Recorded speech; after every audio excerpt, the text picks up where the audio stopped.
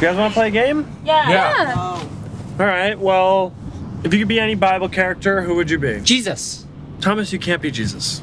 You lose a turn. Dad, what about you? Who would you be? I'd be Onan. Onan?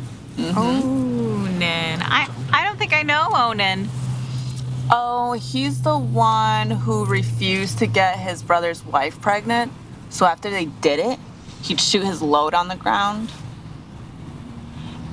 And then God killed him. Uh, whoa, whoa. Let's not say stuff like that. It's in the Bible. No, it's not, Deb. Here it is. He spilled his semen on the ground. Thank you. Okay, well, you know what? How about we just don't say words like load in the van? Is that okay? Yes, unload, unload.